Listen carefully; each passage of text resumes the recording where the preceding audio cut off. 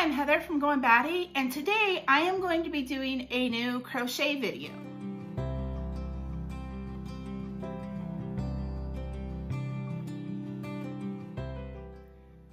All right, so this video was kind of inspired by my ear warmer video, which um, actually is one of my most watched videos. Um, so what we're gonna do today is kind of on that same lines. We are going to make a scarf and this is an infinity scarf. So it's just a circle. It's super simple to do. Um, it's one kind of stitch, you make your chain and then it's kind of one kind of stitch all the way through so you can finish it relatively quickly. Um, you know, for a beginner, this might take you maybe about two, maybe three hours to do. Um, so I, I will show you what it looks like on. So if you know anything about infinity scarves, like they're made to be worn like this, and then you can wrap them around and it becomes more kind of cowl-like and you can move it around. So they're really pretty, they're really warm. So I am gonna show you how to make this scarf. So this is what you're gonna need. You're gonna need um, a pretty bulky yarn. This here is the um, Hometown USA yarn by Lion Brand. I really like this yarn. Um, it makes projects go really fast because it's kind of bulky. Um, one of the things that you need to look for is when you're buying your yarn, make sure that it comes from the same um, lot. And you'll see, I don't know if you can see right here where it says lot and it has a number there. You want both of yours to say that because that means it came from the same dye lot number because sometimes what'll happen is that you'll have where your yarn will not quite match each other and you don't want that. The next thing that you're gonna need is a pretty good size crochet hook. Um, this one here is an N, it's a 10 millimeter one. Uh, it's pretty big. Uh, like I said, I like this because it works well with this yarn. You're gonna need a tapestry needle that has a pretty big eye on it. So I don't know, see how big that is? Because you're gonna have to get this yarn through that hole to finish your ends up. The other thing you're gonna need is a good pair of scissors. All right, so we're gonna start out by making a slip knot. Now I leave a tail that's a pretty long on my stuff, just so that I, it's easier to um, weave into your finished project. Um, if you have it super short, it's really hard to do that. So I leave probably a good, like, I don't know, that's maybe like five inches. And so I'm gonna make a slip knot. So I wrap it around my fingers like this. And then you just push that in through. I grab it with my hook. There you go. So you have a slip knot. Now, what you want to do, you're gonna chain 90. So um, if you don't know what a chain is, you're going to take your yarn, you're gonna put it over your hook. You're gonna, I twist mine and then pull it through like that. That's a chain. Now you wanna make sure, this is called your foundation chain, you're gonna wanna make sure that this is kind of loose. You don't want it super tight. You actually want it pretty loose because you're gonna have to get all of your other stitches into this. So I'll show you again. You take your yarn, you hook it, you twist it, you pull it through. Now, if you can see my chain here, I'll pull my hook out. It's pretty loose. It's not, it's not done super tight. So um, I'll show you again. You take your yarn, you put it over your hook, and you pull it through, just like that. Now, you're gonna do 90 of these. So I will finish my chain and I will meet you back when I'm done with it. So I have 85, 86, 87, 88, 89, 90. So I've got my chain done here and hopefully you guys can see like it's pretty loose. Like you can actually kind of see through the stitches and that's what you're wanting with this.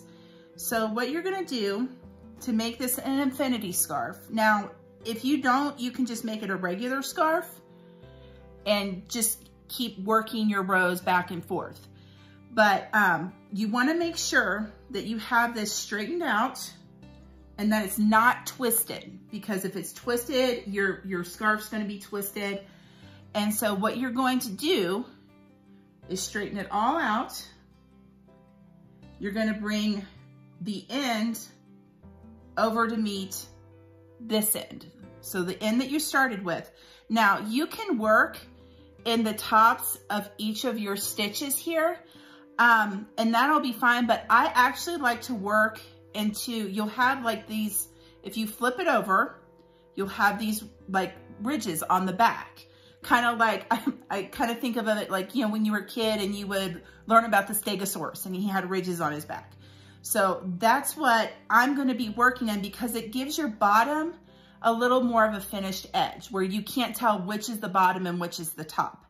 So what we're going to do is we're going to slip stitch, which means you're going to take your crochet hook, you're going to put it into that first loop like that.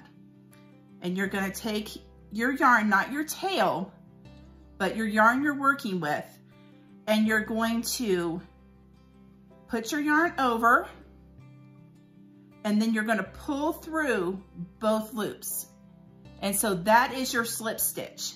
So you've finished an entire, your, your chain. And so what's gonna happen is that you're, um, you're going to work now into the, each of these ridges, but you're going to um, have your turning chain, which means you're going, since we're gonna be working double crochets, you're going to chain two. So one, two, and these don't have to be nearly as loose as your, your, um, your foundation chain was.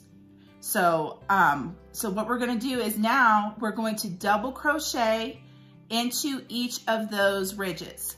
So you're going to put the yarn over your hook like that. You're going to go through that first ridge.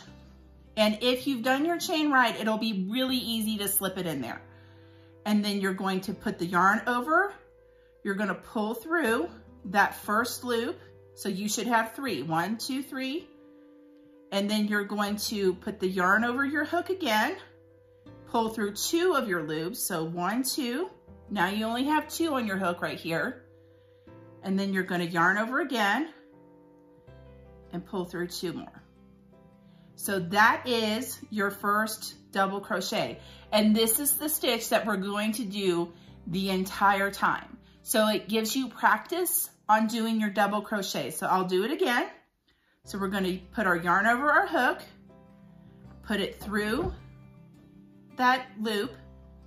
You're gonna put your yarn over it again, pull through.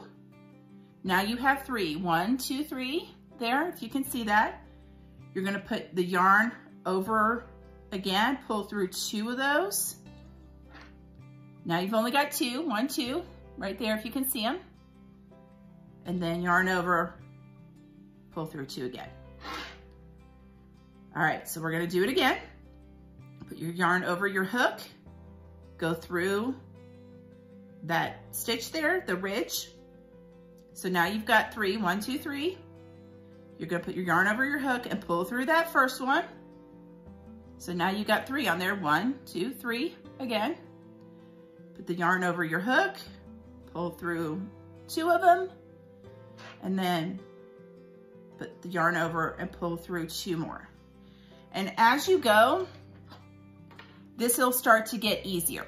So, and it'll just be, you're doing the same stitch over and over and over and again. then when I come to the end, I will show you how to join it together.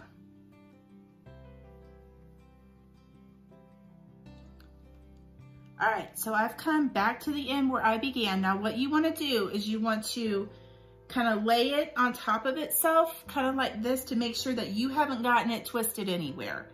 So what we're gonna do is we're actually going to slip stitch again. So really the only stitches that you need to know for this scarf is you need to know how to chain, you need to know your double crochet, and you need to know slip stitch. Just those three, and you're gonna be able to do this. So what we're gonna do is right here is our starting chain. So if you guys can see that, so there's one, two, and then right here is where it starts to go into your first double crochet that you did. So there is a little V up here, and what you're going to do is you're gonna slip stitch underneath that V. So if you can see, there's a string here, there's your V here, and then there's your stitches that go along this way. So you're gonna take it, put your hook in, put your yarn over, and then pull through both of them just like that. And that closes your loop. So now what you're gonna do is you're gonna just start the process all over again. So you're gonna do chain two, and then in each of these V's, you're gonna go uh, under both strings where on your um, foundation stitch, you kind of went under that ridge. You're gonna go through both here. So where this V is, you're gonna stick your hook underneath both of them, except you're gonna put your yarn around your hook first, and then you're gonna stick it through both of them, put your yarn around, pull that yarn through both of those, and now you've got your three, one, two, three on there. You put your yarn over your hook, pull through two of them, put your yarn on your hook, pull through two more. So I'll show you that again. You're gonna take your hook, put your yarn over it. You're gonna go under both of those. So you have like a V on top yarn over your hook, pull it through. So now you've got three, one, two, three. Yarn over, pull through two. Yarn over, pull through two more, just like that. And I'll do a couple more with you. So yarn over your hook, put it through your stitch, pull it through, pull through two of them, pull through two more, and it'll start to get easier as you go. So, and it, will just become, it actually is like there, you'll get a rhythm going. And it's a great way for you to make a handmade gift for somebody that you care about. Um, I make all of my kids hats, scarves, things like that. And they're funny because they say that there's, you know, their, their hat was made with love or their scarf was made with love. And it was.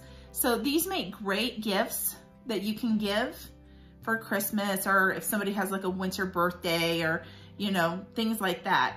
So you're gonna just keep doing this stitch over and over again.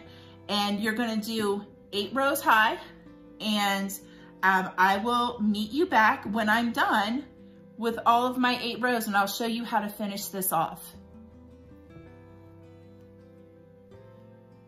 So as I'm doing this, I was thinking about, um, at some point you are going to have to get into your other skein of yarn. So um, when you do that, I will actually show you how to do it where you can make a knot that is almost, you almost can't see it at all. Now, one other thing that you will run into sometimes is you will run into where, um, I've run into it where the yarn actually from the manufacturer, I'm sorry, the manufacturer has like pulled and snapped and they have tied it back together. Don't ever use that knot that they use. It's awful. You're, it, it's just terrible. So, um, when I get to where I have to change to my next skein of yarn, I will show you how to do the knot that I'm talking about. Um, the other thing I wanted to talk to you guys about too is that um, this kind of yarn here, they have some that are really pretty and they're like variegated and they have um, like one where it's black and gray and it has some pink in it and it is beautiful. I, I do like it a lot, but you have to watch out because it doesn't have as much yarn in it as this. So when you're looking at it, it will tell you on here, like right here on the back, it'll tell you there's 81 yards of yarn in this ball. Now in some of the fancier ones, I think it's only 61. So you will be like 20 yards short. so um, if you're gonna do it with a fancier yarn from this brand, I would get three of these instead of two. Okay, so I was getting ready to show you the knot. So this is what I'm talking about. It has broken somewhere at the factory and I had all these plans to show you right away, but then my husband and my kids came home with um, donuts from Cowboy Donuts and I had to stop what I was doing because they have like the best donuts around. So, all right, so what I did is I cut that knot out because you don't want to use that. When I first started crocheting, I would just let it go. It is hard to hide. Um, it will come undone. Don't use that. So what you're gonna do is I've got quite a bit left here. You're gonna make two slip knots. So you take it and tie your slip knots. And what you want is you want the tail to be facing this way with your first one. So you're gonna tie it like that. So that tail is facing this way. Now with your other one, you pull it out enough so that you have enough to make it. The tail on this one's gonna be facing this way with this string. So make your slip knot. Pull it. And so what you're gonna do is you're gonna pull both of these pretty tight when you make it. And then you're gonna pull it to where they meet each other and you're gonna pull it super tight. I mean, as tight as you can and not have the string break.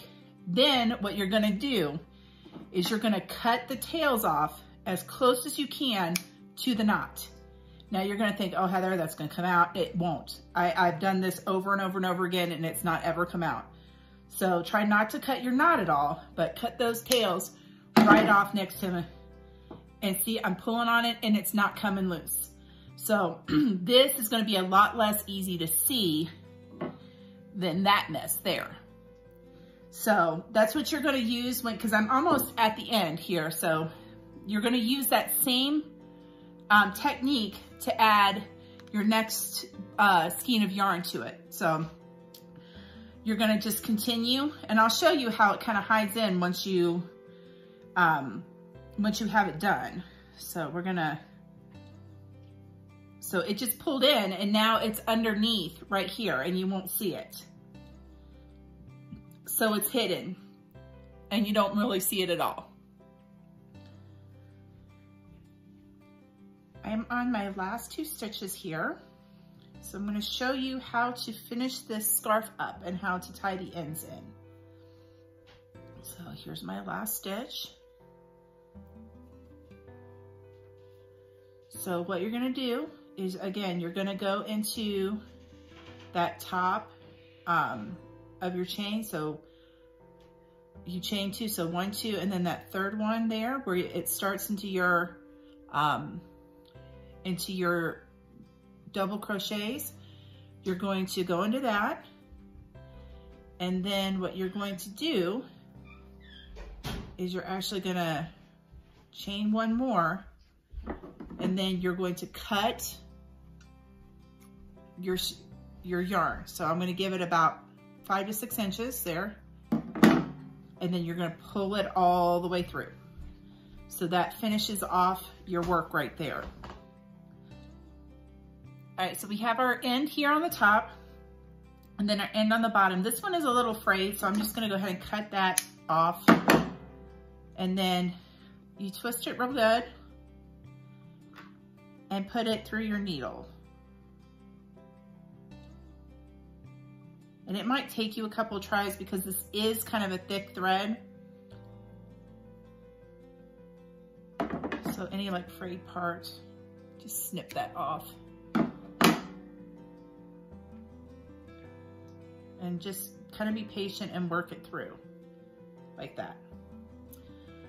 All right, so now what you're gonna do, this is the bottom, is I, I try not to weave it too much through like right here.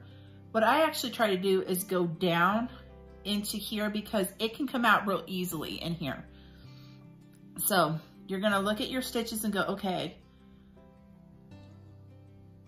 just kind of weave it in like this.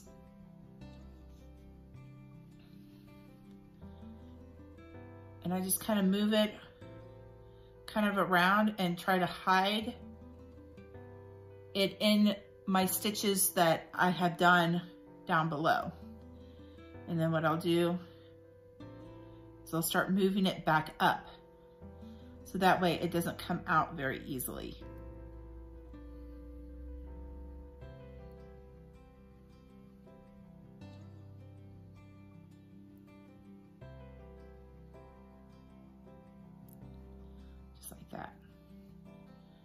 Now what you're gonna do is you're gonna kind of pull it tight a little bit, snip that off, and then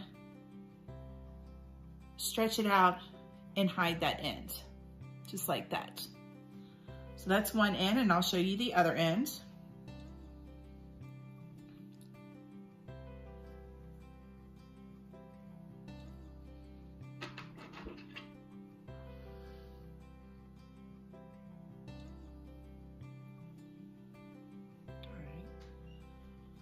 Right, the other thing that I wanted to tell you, and I didn't tell you before, is so this is the right side of it. When I stitch this in, I do it on the wrong side so that you don't see it. So you can kind of tell like there's a difference in how it looks. This is the wrong side. So I'm gonna go ahead and do the same thing here where I weave it down into the stitches that I did. Pull the thread through. And I, I go pretty far down just because it just helps hide it better. And then I'm gonna turn and move back up. So that way you can't see where it starts and where it begins. Just like that.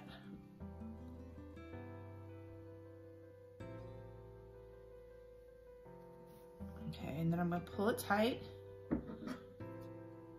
snip it off, and then pull it through like that. And so now you can't see it at all. So that is all done. And we have our infinity scarf here. All right, so our project is finished now. Um, this, like I said, I've been crocheting for a while, and this took me about maybe an hour, an hour and a half to do. Um, now, don't be afraid. Like, if you are just learning, it's okay if you mess up and you have to pull things out and start. I still have to do that. I'll lose count of something or I'll do a stitch wrong or something like that. And it's okay. I'm sorry. It's my dog. So, um, you do a stitch wrong and you have to pull something out and start over again. And that's okay. That's part of the learning process. But this is our infinity scarf. And I'll show you this one's in gray. This one actually matches the hat that I, I made for myself. So, and so you can just, and the good thing about these kind of scarves too is that they'll, they'll over time stretch out and stuff like that. But um, for winters around here, we live in Wyoming. And so it starts getting cold in October. so, and it stays cold until like April. So, um, but this is nice and thick. It's nice and warm. Um, and like I said before, it'll make a great Christmas gift. If somebody has a birthday in the uh, wintertime, it would make a great gift for them too. So make sure you like and subscribe. Leave any questions or comments down below and I'll try to answer them. And if you would like, if there was a particular project that you would like me to show you how to do, please leave that down below too, whether it's um, making a simple hat, making um, a pot holders or an oven mitt set or something like that, just let me know. Leave it down below. Um, I'm Heather from Goin Batty and thanks for watching. Bye.